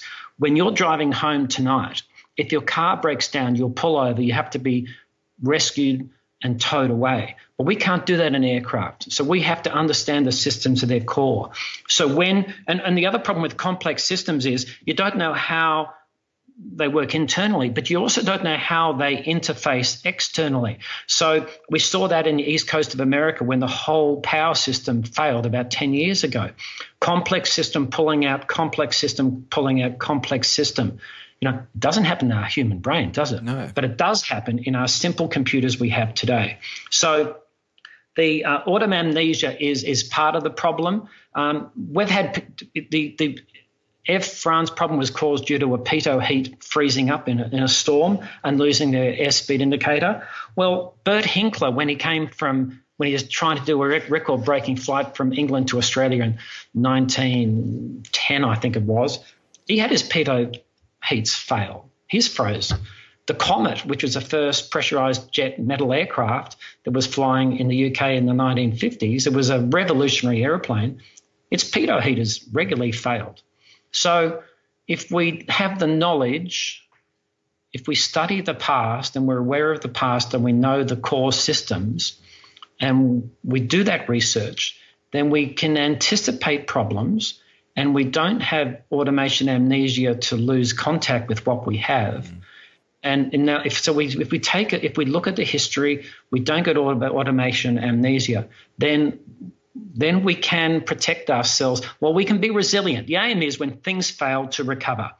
If we these are the elements of resilience that they needed and for whatever reason it didn't work. Mm-hmm. So there there are many factors, and uh, but but again, fly all these elements of resilience that I'm talking about. It relates to the individual, the person, as well as the community and the company. They're all transferable. So interestingly, half the people I think fail in marriage, fail resilience because they get divorced. Now, I know there are many cases where divorce is inevitable and, and it must happen, but, but for many divorces, the people leave the partner that they were in love with. And when they get divorced, it's costly psychologically, mm-hmm. mentally, financially, and they fail resilience. But why did they get divorced? And if we put as much effort we put the same effort we put into our business, into our into our partner, um, then maybe we'll keep the marriage going and we don't divorce. You see, marriage is a bit like a formation of aircraft. Where you take off from is not where you land. And when you take formations of aircraft stay alive because you protect each other like a team. Individual aircraft get shot shot down. So in a marriage, when you take off, you're going to be diverting to avoid threats, attacks, and risks. And so who you, Steve, who you end up to be in 20 years' time will be different to who you are today. But the challenge, remember Darwin's evolution, it's the adaptable that survive. But the challenge for you personally with resilience is if your partner changes and adapts with you, that you stay in a close formation and you'll stay married and you'll stay resilient. So these elements of resilience that I've talked about many for company events totally apply to the to your to your personal life. And if we invoke those elements of the eight elements of resilience, then we will not just survive in the crises, but we will thrive in the good times. And that, that's very well said. And I absolutely love the analogy around a relationship not being about, well, where you take off in a relationship isn't exactly where you land and that you need to be on that journey together and stay in formation. Um, and again, that comes back to the whole values alignment piece because once you're um, not in alignment, that's when a lot of the cracks start to form. Steve, can I interrupt one last time? Mm-hmm.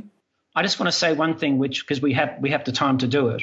And and pe- aviation is very safe. I remember I said 50 people died last year out of 4 billion. And aviation, don't take that for granted. Um, every hospitalization, every time you go to a hospital to present to have something done, your risk of being killed by an accident or an error is equivalent to being in 70,000 one hour commercial flights, right? Mm-hmm. So medicine is not as resilient as uh, aviation.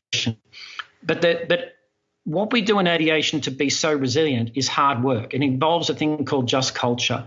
And just culture is forgiving honest mistakes and even and then classifying mistakes and learning and forgiving honest mistakes. And if we apply the just culture that we have in aviation to our personal life, then we'll be a whole lot more successful in our personal life.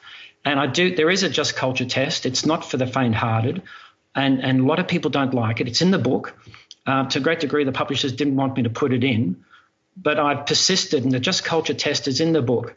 And it's for those people who really want to experience just how hard it is for an airline to develop a culture that that accepts errors, learns from them, mm. adjusts, and repeats. But that's what keeps aviation safe. And if we bring just culture into our personal life, well, you understand how hard it is. But if we do, absolutely, our relationships will be so much more resilient. Yeah, and I can only imagine how difficult it would be to build a culture where risks or experimentation is encouraged, particularly where, as you've said in the book, good enough is never good enough. Um, if you don't strive for perfection, then you have no place in an aircraft or in a cockpit for that matter. Um, but at the same time, it's about continuous learning and growth and, and, and moving forward. And unless you're willing to take uh, calculated risks, then you will find yourself uh, behind the pack effectively. Gene Kranz wrote a book called Failure is Not an Option. Mm-hmm. And I, I interviewed Gene. It was one of the most, it was one of the best interviews I've, most enjoyable interviews I've ever done in my life. And when I, I didn't discuss it with him, but I said in, in Fly that when Gene Kranz said failure is not an option, he didn't say that you can't fail. Mm-hmm. You, you, you, fail in little things so you get the big things right. And, and I had to, I, I sort of, I'm, I translated Gene's interview into because NASA and Gene Kranz were so phenomenally resilient. And I, I've had great pleasure in looking at the lessons from NASA during those golden Apollo years, which is best one of the best years of humanity. And um, Gene Kranz came back saying that Fly would be mandatory, mandatory reading for every astronaut at NASA, and it's the best book he's ever read. So um, it's that NASA Apollo period, and, and, bearing in mind that was a golden period from well Apollo one was a disaster, Apollo eleven was was a successful landing with Neil Armstrong, Apollo thirteen was the most successful failure probably in humanity, and then we get to um, Challenger in 1986 that was a failure at NASA, and so they went through this cycle, and and I we discussed that. So even NASA couldn't keep the resilience going forever. But it's a it's a wonderful topic. It's very deep, but I've done my best to dissect it into its elements. Yeah. And, and, just just quickly on that, obviously now we've seen uh, similar things play out with SpaceX, where uh, with the Falcon rocket, I believe it was the Falcon rocket, where there was three cons- uh, three consecutive attempts to get into orbit, and in all three occasions, the rocket exploded, and it cost Elon Musk almost his entire net wealth. But then they tried again and with what little they had, they managed to launch for a fourth time and were successful at getting into orbit. And since then, you know, they've su- uh, successfully launched uh, numerous rockets and landed uh, back on Earth, both on land and at sea. And they've also managed to uh, launch a cherry red Tesla Roadster uh, into orbit as well. Uh, but they were they needed to take the risk. They needed to endure beyond those initial setbacks. Elon Musk needed to have his ego hurt and put on the line and subject to all sorts of ridicule by the media in order to get to the point um, that they're at today. Um, and do, do you think that that's something whereby we're moving away from in the case of NASA, big public organizations using taxpayer dollars towards more private spaceflight and the fact that in today's uh, world of exponentially growing technology, cheaper technology, um, the use of first principles empowers organizations like SpaceX to achieve great things without spending um, as much money as perhaps it would take a NASA to do. Well, Remember, I said success is passion, passion, execution, and, and um, discipline. Mm-hmm. And Elon Musk had has got all of those, and he's failed along the way. And Elon, Edison, in my book, I wrote that Edison said when he had 6,000 broken light bulbs, bulbs that wouldn't work, he said, Well, I know 6,000 ways don't work. Even for the MH370 search to find that aircraft in the Indian Ocean, we know where the aircraft is not. So we are learning something. But you've got to be careful too that you can flog a dead horse when things go bad, if you have an investment that's not going well, if Elon Musk was, if Elon Musk this has 10 bad shots, at what point does he say, enough's enough, we can't do it? At what, what point, you know, do you risk, do you risk corporate or, or personal, corporate suicide um, to chase something that maybe you can't do? And so there is a skill. Part of resilience is knowing how to analyze when to call it quits and protecting yourself. And to a great degree, that's getting into risk that you, you have one foot in a firm bed of security and, and low risk um, investments. and then you can take put one foot forward into high risk ventures and and experiment, but all the time knowing that if it fails, you you can survive. So there is there is a skill in identifying, and we discuss it in the book, when a concept is should be shut down. And I, in our business, in computing business, I would say we've we've made a hundred different programs in our computer business here, and we've shut down 40. 60 have worked, 40 haven't. And the skill for us, I don't regret starting any of those 40 bad ones. I wish we'd shut down a whole lot of them quicker than we did. Um, so there's it's a dual-edged sword, isn't it? You know, Elon Musk is is surviving, and and I hope he does have some underlying risks so he doesn't throw everything in. But um, because that's ultimately that's resilience. Elon Musk would not be resilient if he ends up hungry and with no roof over his head.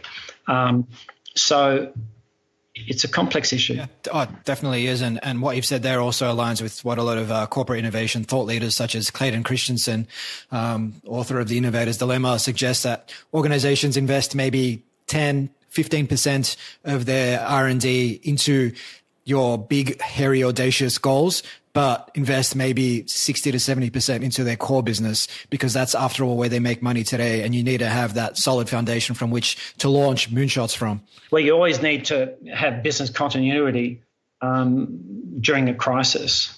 Couldn't agree more.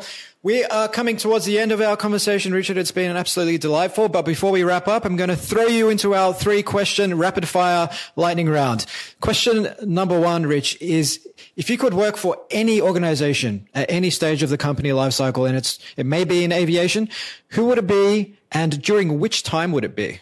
Google today in the um, mind area. Mm-hmm. Fantastic. I, I, can see why, given our conversation today. Question number two, Rich. Uh, under Ray Kurzweil, I would work with Ray Kurzweil at Google Mind. Mm-hmm.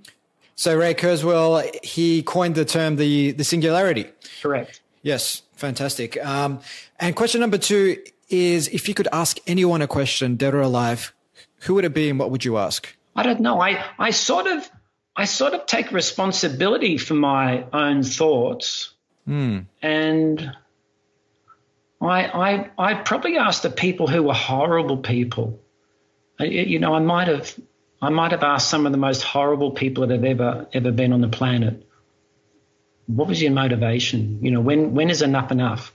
And, but I, it's a very good question because I, to be honest, I, I haven't thought of that. Okay, interesting. I, I tend to, um, a lot of people will say they'd like to ask a question of someone that they admired when they were young uh, or something to that degree. But Oh no, I did that in the QF 32. I asked the governor. I was an aide to the governor generals of Government House. I said, you know, what was the path to your success? Mm-hmm. And and they said it was. You know, I, they, they never thought they'd be governors, governor generals of Australia. They just said, I just tried to be the best I could be. And that was a really good lesson for me. So um, I, I can I can sort of understand how everyone's got to the successful position they can be, and that's why. And I sort of take control and, and responsibility for my own actions, and so I'm clear of my own mission.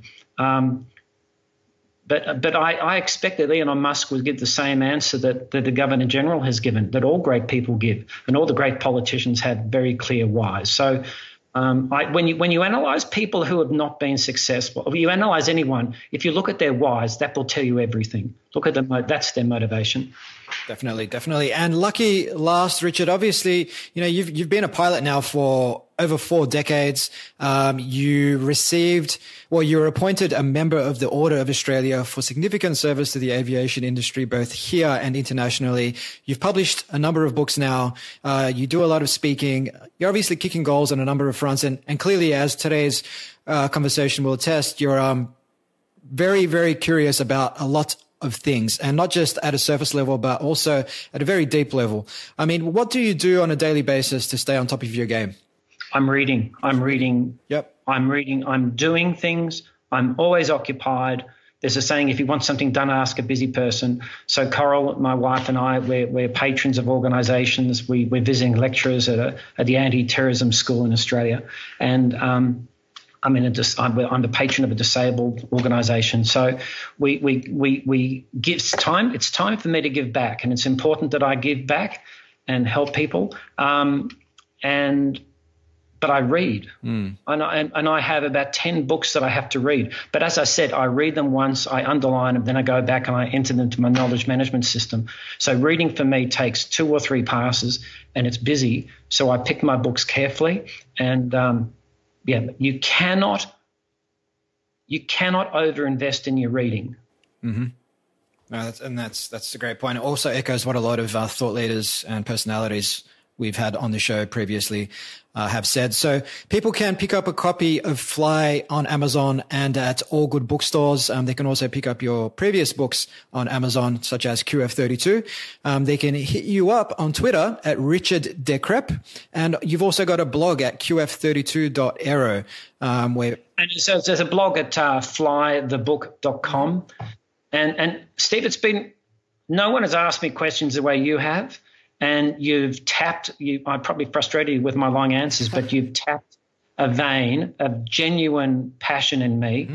to both understand the human brain and to and and to work with high tech. So you know, my my vision when I retire is to go into robotics, or sentient robotics, and um, you know you, you, tapped it so i'm sorry it took so long but i've really enjoyed talking to you. likewise likewise and i think that's the beauty of um, these long form conversations via podcasts and i think people are genuinely uh, curious and hungry for this type of thing rather than the short five ten minute thing you get on mainstream media and uh, the recent elon musk interview on the joe rogan experience i think uh, has something like 10 million views already which is more than any of the popular late night television programs and news programs in the us by a country mile and i think it's just a, a reflection of people being starved for genuine conversations. Good point. I agree. Well, thank you so much again for your time and leaving our audience with a hell of a lot of value. Um, I'm probably going to go back and listen to this a couple of times and read the book a couple more times, but people should definitely head out, pick up a copy of Fly because it is more than just a book about how to survive a crisis situation in the air. It is a book about how to perform well, both in the professional and personal domain. Not just perform well, but perform at the top of your game. So thank you again. Thanks, Steve. Cheers. Best wishes. Hi guys, Steve again. I hope you enjoyed this episode. If you'd like to receive a weekly email from me, complete with reflections, books I've been reading, words of wisdom, and access to blogs, ebooks, and more that I'm publishing on a regular basis, just leave your details at futuresquared.xyz forward slash subscribe and you'll receive the very next one. If you're picking up what I'm putting down, take a minute to like, share, or subscribe on Apple Podcasts, Google Play, Spotify, or wherever you get your podcasts. It goes a long way to giving the podcast the exposure it needs so I can continue bringing you guests and conversations of the highest caliber. You can catch me on Twitter at Steve Glaveski and on Instagram at the. Until next time. Hasta la vista, baby.